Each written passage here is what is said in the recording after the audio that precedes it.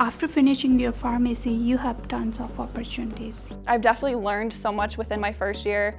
I think I am leaning more towards hospital pharmacy because I really would like that direct patient care. If you want to like do the community, you can go community. If you are interested in hospital, you can go to hospital.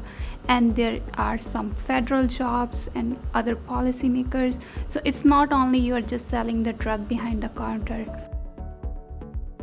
You also have this uh, scientific know-how to sort of jump in on creating maybe you know the next big thing. Community service hours we do, just like the impact that we're already making in our community and seeing how different pharmacists all have shaped their community that they practice in is just very exciting for me to have my own set of patients someday and people that I can really help make a difference with.